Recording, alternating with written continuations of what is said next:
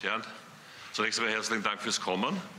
Ähm, wir haben heute einen, einen Bericht vorzulegen, äh, über den viele, viele Jahre hindurch letztens diskutiert worden ist.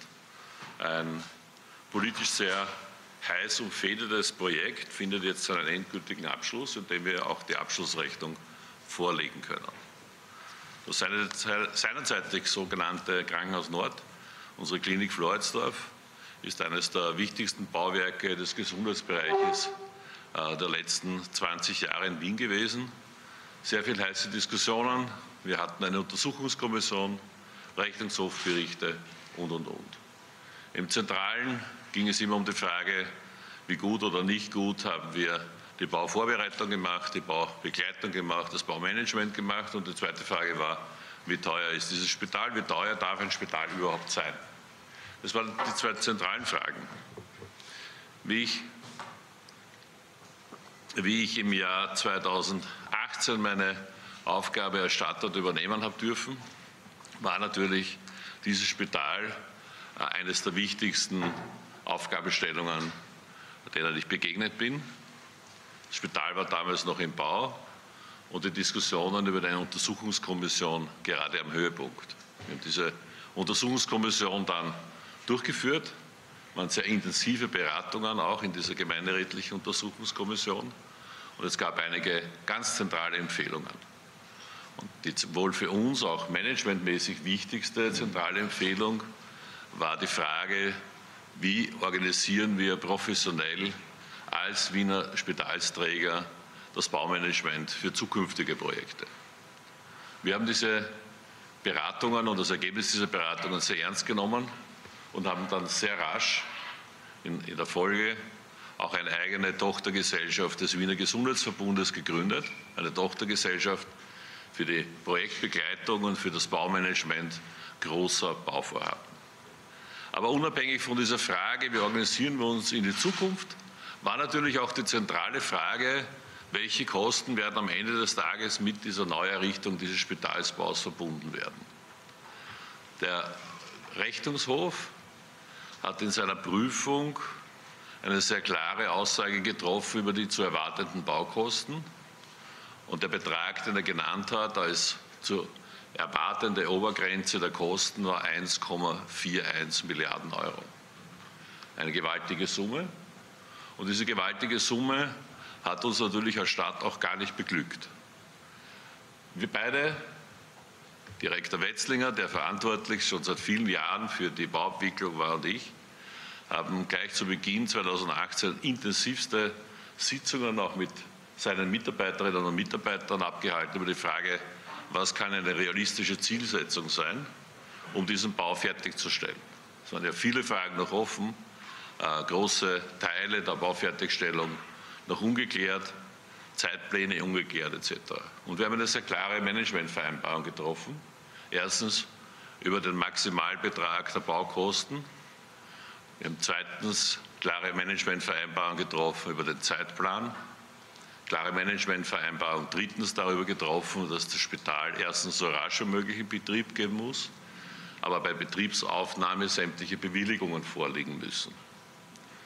Die Vorgabe, die wir vereinbart haben, war, dass das Management einen Gesamtbetrag von 1,5 drei, vier Milliarden erreichen muss. Die vom Rechnungshof genannten 1,4 Milliarden waren der politische Rahmen, den ich mit dem Finanzstadtrat vereinbart habe.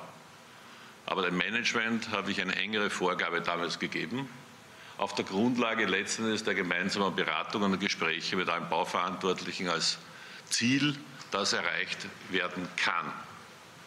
Ich freue mich wirklich sehr und bin auch sehr stolz auf die Mannschaft, die im Wiener Gesundheitsverbund arbeitet. Ich bin stolz auf den Vorstand, dem ich mein Vertrauen gegeben habe. Ich habe den Vorstand damals aus der interimistischen Situation eine definitive Führungsaufgabe gegeben.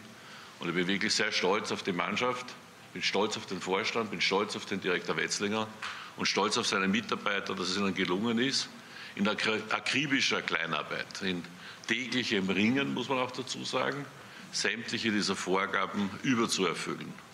Über die Details wird der Direktor Wetzling jetzt berichten. Danke vielmals.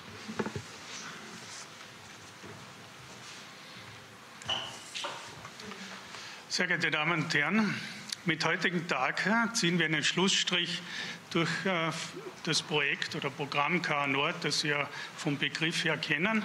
Sie wissen ja, dass, dass die Klinik Floridsdorf im Juni 2019 erfolgreich in Betrieb gegangen ist.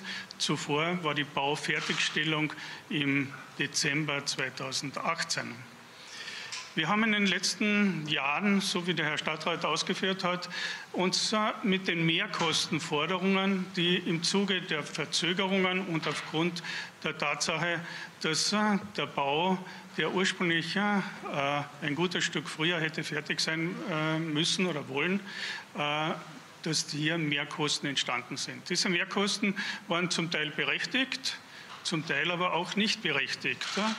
Wir haben einen mehrstufigen Prozess standardisiert eingeführt, der übrigens international über, über eigentlich gut äh, etabliert ist, nämlich jener, dass zunächst die örtliche Bauaufsicht hier die Prüfung durchführt. Wenn es eine Einigung gibt mit dem äh, Anbieter oder Lieferanten, dann ist es an der Stelle schon erledigt. Sollte es zu Divergenzen kommen, kommen wird das externe Projektmanagement äh, befasst mit der Fragestellung und die dritte Stufe war dann die begleitende Kontrolle. Immer äh, gesteuert von unserem Projektleiter und Projektmanagement, die an jeder Phase den Überblick und letztlich auch die bauherrenseitige äh, Vorgaben an die Prüforgane, die wir hier beschäftigt haben, durchgeführt hat.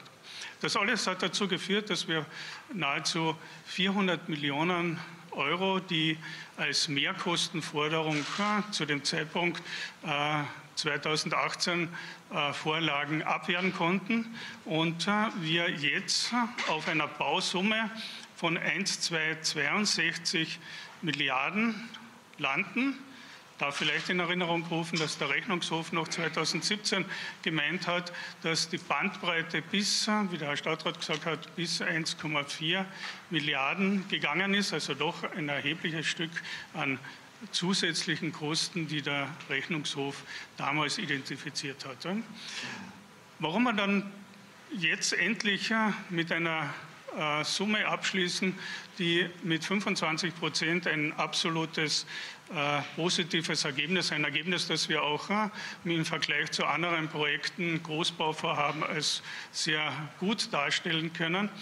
Äh, war eine minutiöse Aufarbeitung aller Forderungen, aller Abrechnungen und letztendlich die konsequente Aufarbeitung jeder Mehrkosten. Mehrkosten werden im Bau sehr schnell äh, wenn immer irgendwelche Gründe im Baugeschehen äh, gegeben sind, äh, stellen Firmen Mehrkosten, die aufgrund der zeitlichen Verzögerung, aber durch Massenerhöhungen und so weiter entstehen.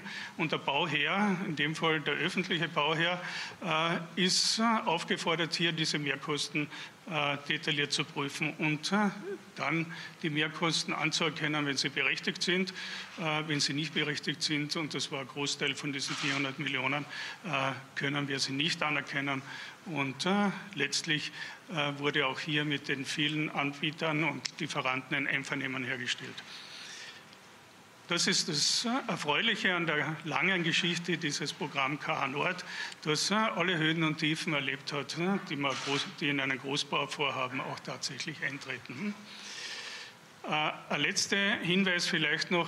Es ist auch gelungen, das Einvernehmen mit den Lieferanten herzustellen äh, in Bezug auf die einzelnen Schlussrechnungen. Nur in drei Fällen äh, sind wir vor Gericht. Die Klagssumme beträgt 3,5 Millionen Euro, also verschwindend wenig. Und wir gehen davon aus, dass wir diese Klagsumme nicht erreichen werden. Wir haben sie trotzdem in diese Endabrechnung von 1,262 mit aufgenommen, sodass wir sicher sind, dass die 1262 Bestand haben.